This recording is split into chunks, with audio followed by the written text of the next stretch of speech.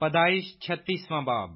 اور عیسو یعنی ادوم کا نصب نامہ یہ ہے، عیسو کینانی لڑکیوں میں سے ہتی الون کی بیٹی، ادا کو، اور ہوی سبون کی نواسی، اور انا کی بیٹی اوہلی باما کو، اور اسماعیل کی بیٹی، اور نبایوت کی بہن بشاما کو بیاہ لایا۔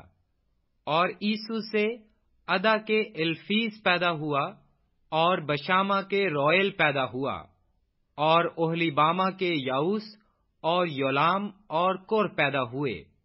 یہ عیسو کے بیٹے ہیں، جو ملک کینان میں پیدا ہوئے، اور عیسو اپنی بیویوں اور بیٹے بیٹیوں اور اپنے گھر کے سب نوکر چاکروں اور اپنے چوپایوں اور تمام جانوروں اور اپنے سب مال اسباب کو جو اس نے ملک کینان میں جمع کیا تھا، لے کر اپنے بھائی یعقوب کے پاس سے ایک دوسرے ملک کو چلا گیا۔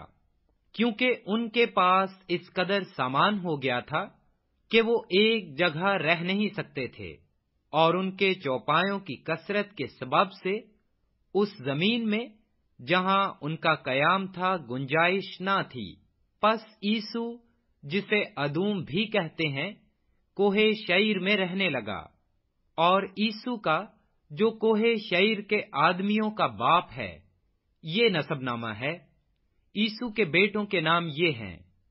الفیز عیسو کی بیوی ادا کا بیٹا اور رائل عیسو کی بیوی بشاما کا بیٹا۔ الفیز کے بیٹے تیمان اور عمر اور سفو اور جتام اور کنز تھے۔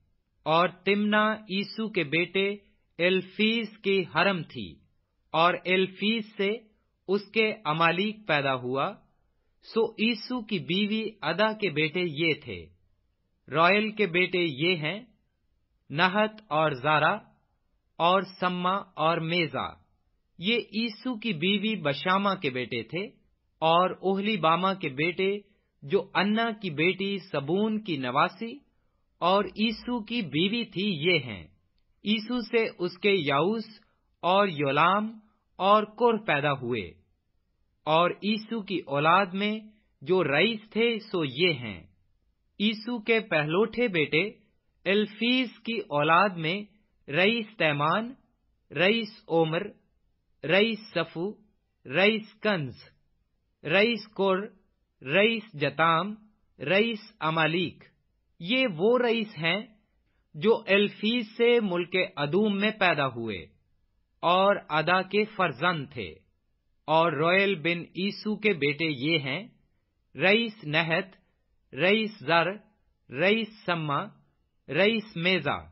یہ وہ رئیس ہیں جو رویل سے ملک ادوم میں پیدا ہوئے اور عیسو کی بیوی بشاما کے فرزند تھے اور عیسو کی بیوی اوہلی باما کی اولاد یہ ہیں، رئیس یواس رئیس یولام، رئیس کور۔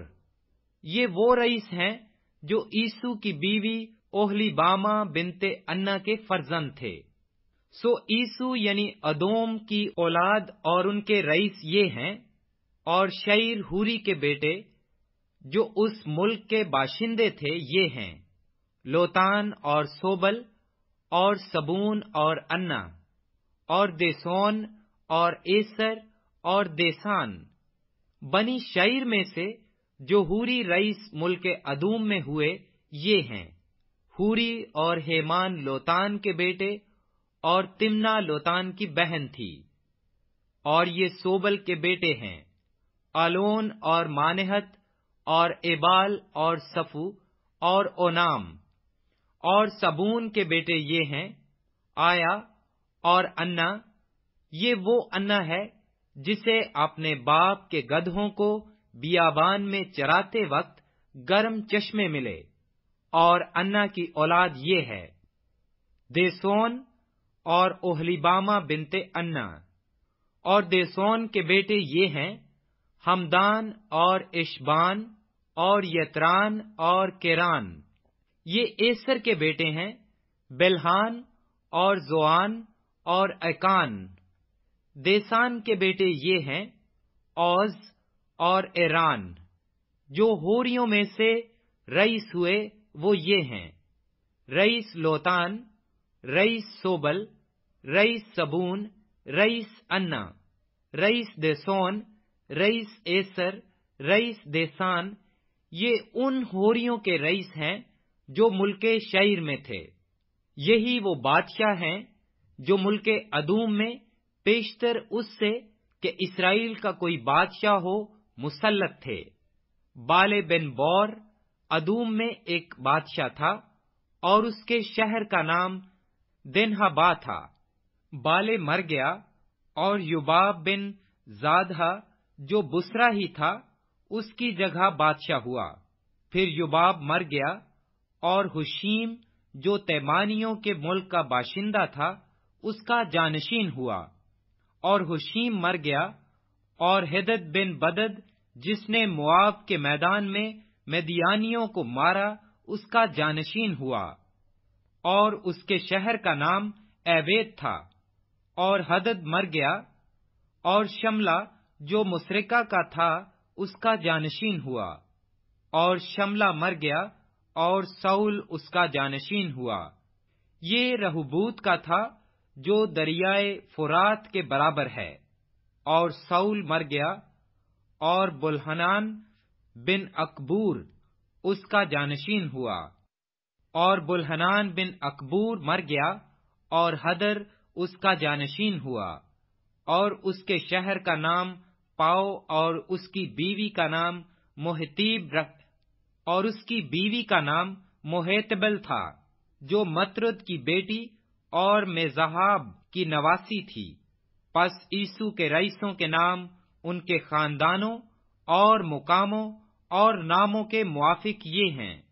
رئیس تمنا، رئیس ایلوا، رئیس یتیت، رئیس اوہلی باما رئیس ایلا، رئیس فینون، رئیس کنز، رئیس تیمان، رئیس مبسار رئیس مجدیل، رئیس ارام ادام کے رئیس یہی ہیں جن کے نام ان کے مقبوضہ ملک میں ان کے مسکن کے مطابق دیے گئے ہیں۔